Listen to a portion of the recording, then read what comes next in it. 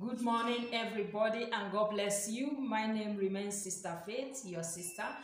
I'm here this morning to speak to us about a topic I titled One Thing I've Wanted to Say. I know you, where you are, you have one thing in your mind that is bothering you, or maybe it's like a revelation to you, and you just feel like people are not getting it, or maybe if people are getting it, it's just few people who understand what you are understanding. So that is what I am here to share mine because sometimes we feel like we want to speak out that one thing that bothers us. Okay, so this morning I am speaking about the topic one thing I have wanted to say. So you are welcome to this live broadcast. God bless you. So that one thing that I've wanted to say uh, for a long time is to let people know that before we come to this earth, we have been written in the palm of God. Everything concerning us has been written. Our lifestyle, the way we, we live, where we are, everything about us, what, what we have, what we don't have, all of them has been written before we arrive on this earth. Remember, we are here on a journey. A script has been written about us in heaven by God.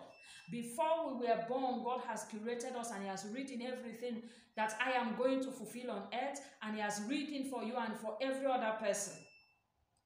So, and that is why our faces are different. The purpose of God for in our life is different as well. So, what am I trying to say? So many people want to live like every other person. You want to live like your friend, you want to live like your neighbor, you want to live like the next door person. But I want you to know that you were you are not created like that person. You are not created the same. So, what am I trying to say? That you are rich today is not by your power, it's not because you copied that person, it's not because you are hardworking. No. That you are poor today is not because you are lazy. No. Whatsoever you are today is made by God. It is written from the day you were formed in before you were formed in your mother's womb, just as the Bible said in the book of Jeremiah, chapter 1, verse 5. So, brothers and sisters, who you are today is not by your own making. It's not by the making of your parents. No, it's not by the making of the society. It's not by the making of the economical meltdown or goes up. It's not. It's not because of anything. It's just because that is how you were created to be. If you are rich today, you have been created before you were born to be rich. If you are poor today, you have been created to to be poor for a moment like this. And maybe created to be poor today and be rich tomorrow. Some people were created to be rich from the onset. So you should not compare yourself to any other person because everybody comes differently for a particular purpose to be fulfilled.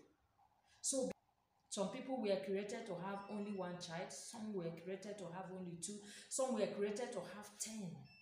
Some were created to have fleets of cars, and some were created to have just one. Some were created to have aircraft.